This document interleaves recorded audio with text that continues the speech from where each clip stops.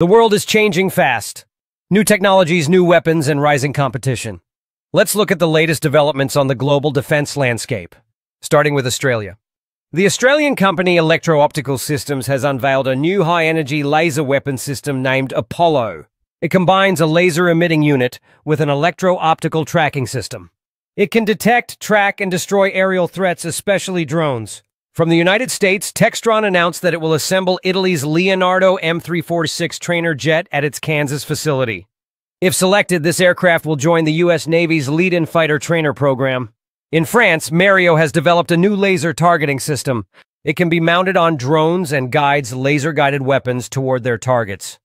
Russia has introduced a new robotic bridge system.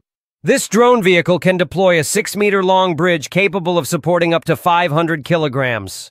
The system, called Impulse M, can be operated from a distance of 20 kilometers via optical cable or 5 kilometers via remote control. On a similar platform, Russia has built another system named Impulse PVO. It is equipped with interceptor drones designed to destroy FPV-style enemy drones.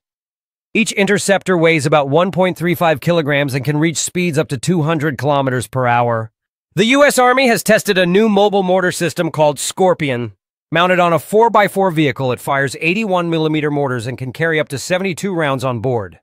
Russia has ordered two battalions of the Sarma multiple launch rocket system. Each launcher carries six 300mm rockets with a strike range of up to 200 kilometers. Meanwhile, Ukraine's naval forces and National Guard claim they have successfully destroyed a Russian OSA AKM short-range air defense system. The global defense race continues, Every nation is building new weapons to secure its future and maintain its edge. If you want to stay updated on global defense and military technology, subscribe to my channel and press the bell icon for more updates.